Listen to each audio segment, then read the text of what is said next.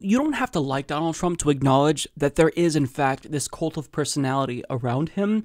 And that was evident from the very beginning because even though he's a political figure, the policies that he's talking about don't make sense to a normal person. Like, you can acknowledge that there is, you know, a demand for xenophobia in America, but the specific policies that he's talking about, like in 2015, how he's going to build a wall and make Mexico pay for it. Like, if you honestly believe that that's logistically possible, one, and that he's going to make Mexico pay for it, like, you're a stupid person if you believe that. I don't know what else to say.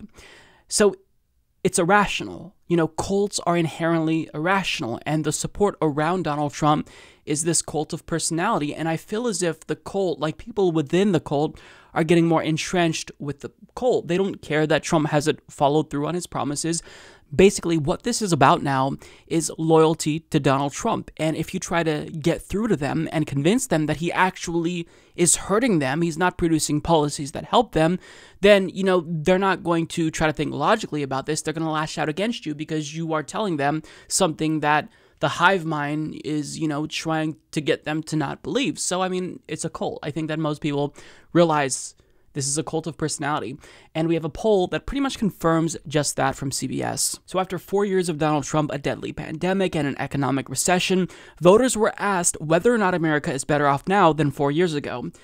35% of voters said yes, which is still, I think, way too high. 65% said no. But 75% of Republicans say yes. They're nuts. 75% of Republicans. How can you possibly look at the state of the world, the state of America, and think that things are better now than they were four years ago? You'd have to be delusional to think that. Like, even if Bernie Sanders were the nominee and he got elected, I would still have to concede that things aren't better, even if someone who I like is in power. Because objectively speaking, things are bad. The state of the country is rapidly deteriorating. We have a climate crisis. So, I mean, how can you say this, especially during a pandemic? Well, this is why. It's because of Donald Trump. Among Republicans, 82% say America is better because of Trump. 70% say because of the economy, 70% say because Democrats are not in power, and 64% say because of their own finances. So a solid portion uh, say, you know, they are doing better now financially. And obviously they are crediting Trump for that. But the, you know, overwhelming majority of people here, the Republicans polled, say that America is better off simply because of Donald Trump.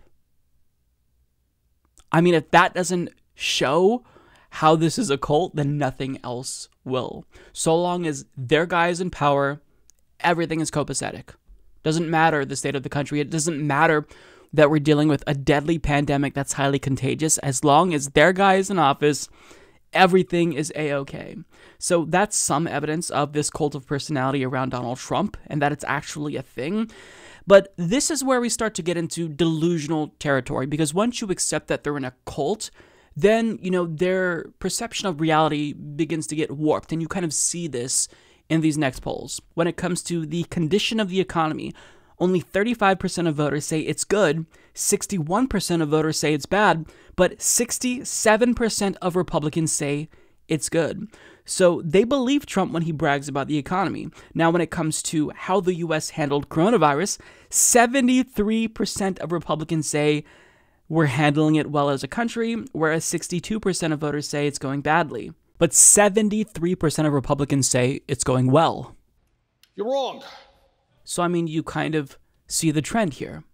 Even though we handled COVID 19 about as uh, poorly as a failed state would, because Trump is the one in power and because they believe he can do no wrong, since Trump by default is good, then his handling of COVID 19 is good by definition.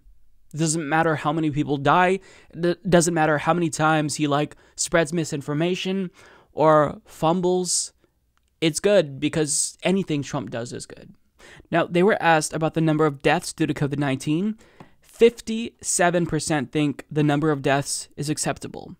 Now, compare that with Democrats, only 10% think it's acceptable. Now, let me remind you 185,000 Americans have died Do you honestly think that if Obama were in charge, they'd say that 185,000 Americans dying is an acceptable number?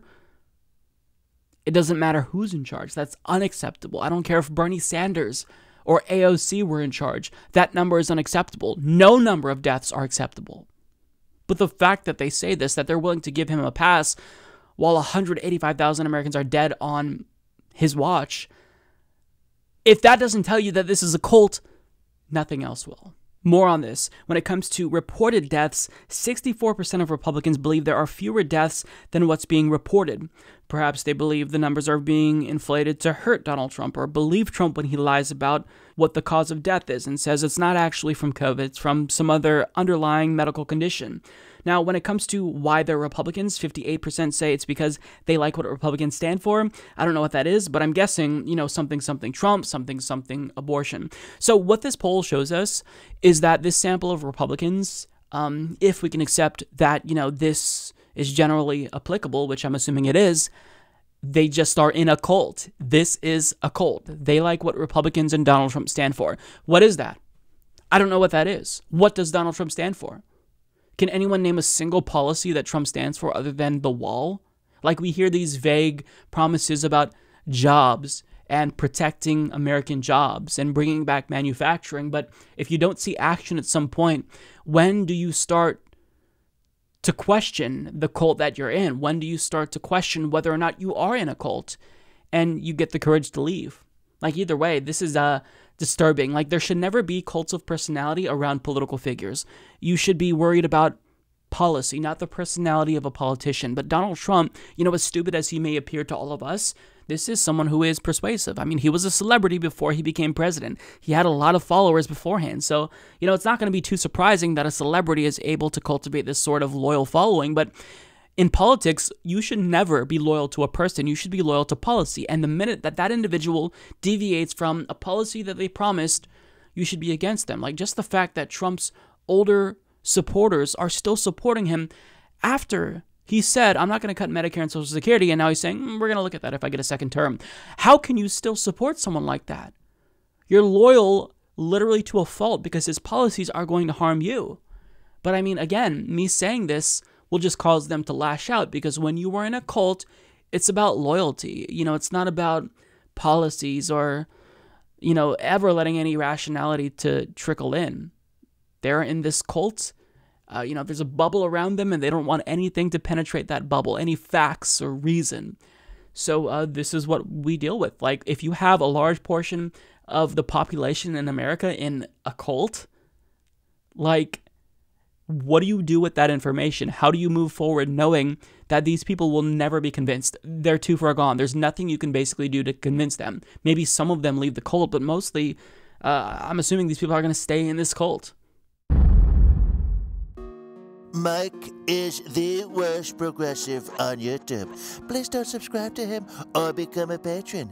David Doel is so much better. Trust me, folks, he's doing a great job. He really is. Okay?